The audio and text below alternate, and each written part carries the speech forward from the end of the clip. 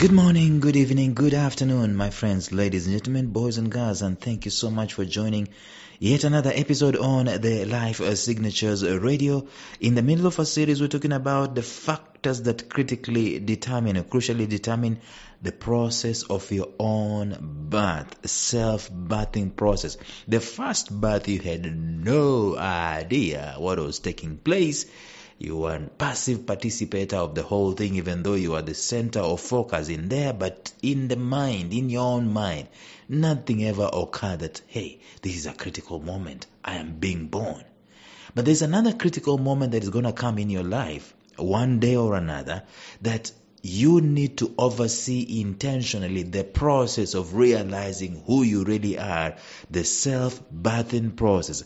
The larger context we're talking about, ladies and gentlemen, is the road less traveled is the one that leads us to identifying who we really are and also helping us to grow. So today let us look at one more factor that crucially determines the process of our self-birth. Stay tuned.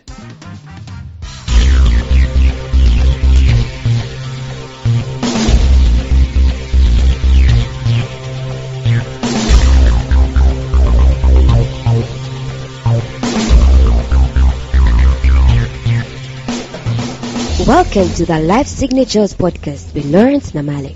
Lawrence is a life coach, author, and keynote speaker who loves to tackle different topics on purpose, productivity, and resilience. His mission in life is to awaken all your boundless possibilities available in you.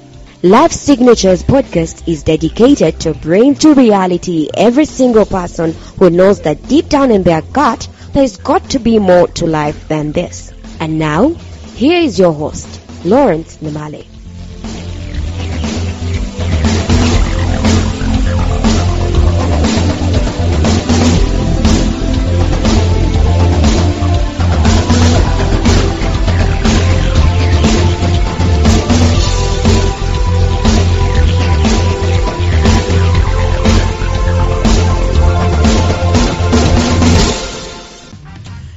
At your life uh, for a minute, is there a moment in time that you can look back and say, that was a defining moment of my life? That was the day that I came face to face with the man in the mirror and I knew who he was, what he wants, what he's gonna be, what he is really up to in this life. The self-birthing process. And we said, let me do a recap for you. The self-birthing process is determined by some factors. Number one, the desire. I don't know about you, but sometimes, actually, this self-birthing process, you know what I've come to realize? I've come to realize that it's not an event. And I also have come to realize it's not even a process. I've come to realize that it's a lifetime, it's a daily thing that we keep evolving, we keep knowing. I've heard T.D. Jakes saying, I'm yet evolving, and I really agree with him. Evolution is not necessarily some theory that Charles Darwin came up with, and, and uh, see, on a daily basis, even as we are here on the face of the earth, we keep evolving and sometimes doing the evol- evolution going through the evolution is triggered by a desire. That's what we discussed. There's gotta be a desire to it. If there is no desire to evolve or to know who you really are or to give birth to yourself it's not gonna happen. It's not something that happens automatically. It's not something that happens arbitrarily. It happens from desire. You really wanna you you must want it to happen. The first thing Secondly, you've got to notice that it is your own. It is not done in a classroom. You are unique. We are all unique. All of us, 8 billion people on the face of the earth, we are unique. Each and every one of us. And therefore, the self birthing process, just like intricate and intimate it is to be given birth to privately, you know it doesn't happen when everybody is watching and you know it's and all that stuff. Same thing with this self-birthing process. It's not done in a classroom.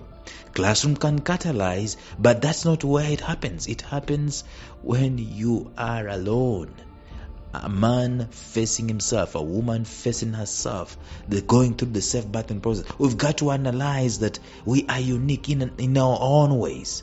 And if we are going to do the opposite and just think that you know, being in a group and uh, doing things together is going to bring this to pass.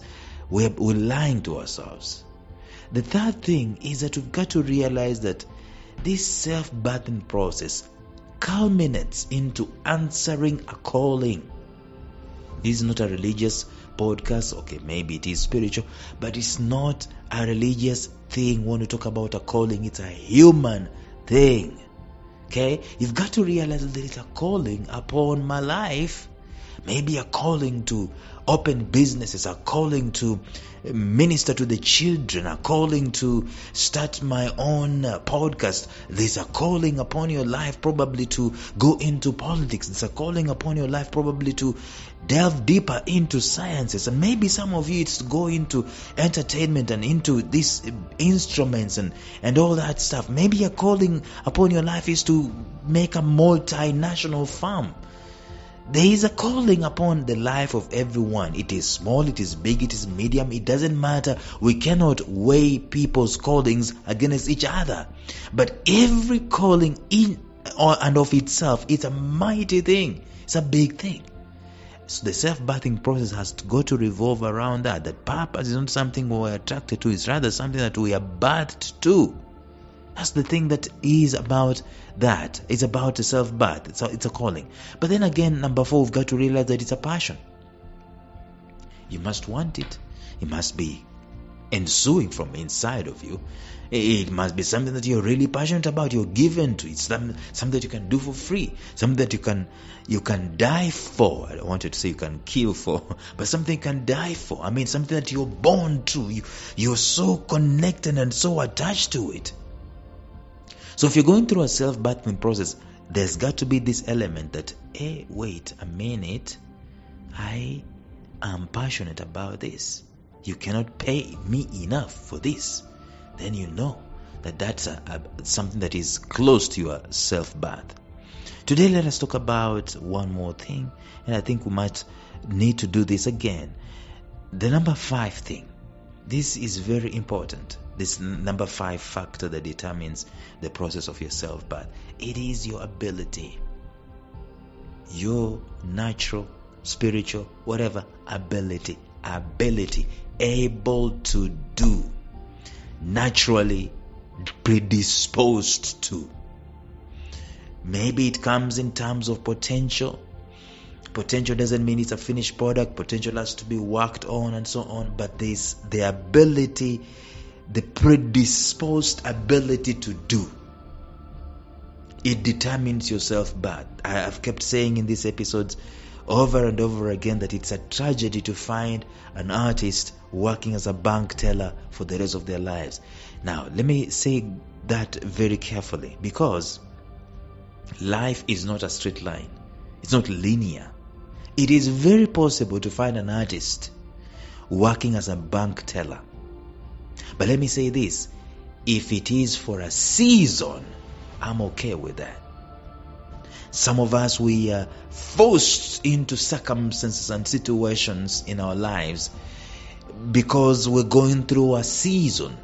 And one way or another, we've got to survive that season so that later on we can thrive in whom we were birthed to, were born to. We can continue the self birthing process. Therefore, our abilities sometimes can be wasted in seasons where we are misaligned. But the tragedy is when we end up there. For the rest of our lives, we're doing that which we were not called to do. Our natural abilities forgotten, ignored. You see, the most interesting thing in life is that it is possible for you, it is possible for you to go through this life all the way to 90, 100 years of age. It is possible for you to do that without necessarily leaning into your abilities, leaning into your strengths, the natural strengths. Some of you have a voice that you can be able to speak and a radio voice, but it's a strength that you've not used to. You, you you've not used all these years. Maybe you're 45, 47, and you've got that voice that has not never been put into consideration, into use.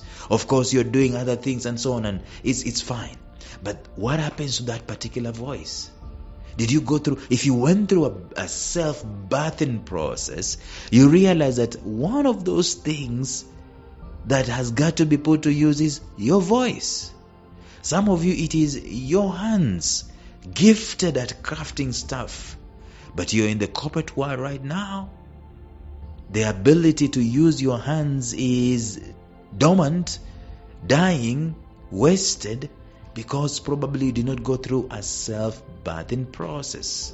You see, again, just the fact that you are gifted and you are talented and you have this ability does not necessarily mean that what you're supposed to do is going to be, you know, easy, is going to be a flow. It can be arduous, it can be uncomfortable. There could be easier things to do. Listen to this. There could be easier things to do that are not necessarily coming from your gifts and your talents and your abilities. And those are things probably you are skilled in, things that you are trained in, and things that you know um, offer more certainty and, and, so on and so forth. But sometimes when it comes to leaning, leaning into your ability, there's a process of sharpening that ability, bringing excellence to that ability, bringing in unique ability to it, and bringing in mastery to it, bringing in genius to it. And that takes time. That takes uncomfort, uncomfortable situations. It takes discomfort for that to be chiseled out. Okay? And therefore, we'd rather not.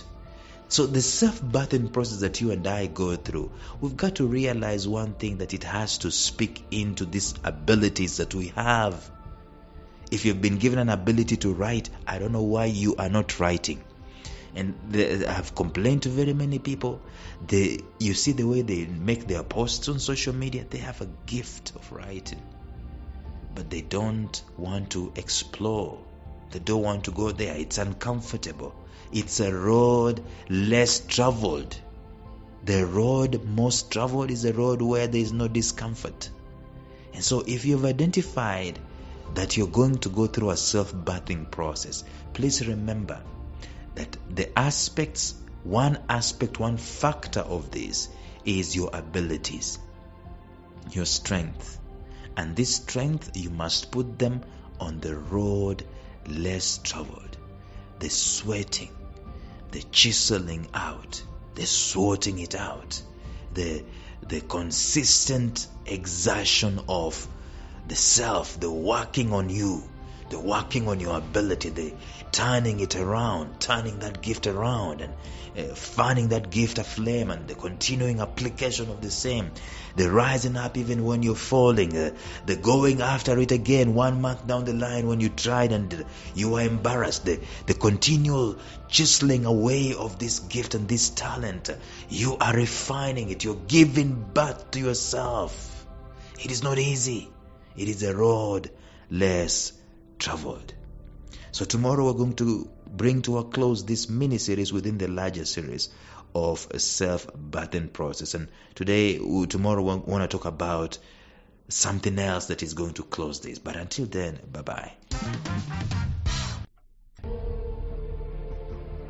Thank you for listening to Life Signatures Radio. If you enjoyed today's show, subscribe to Life Signatures Radio on iTunes, Stitcher, or visit our website at lifesignatures.libsyn.com. Life Signatures Radio, fresh, clean, and inspiring.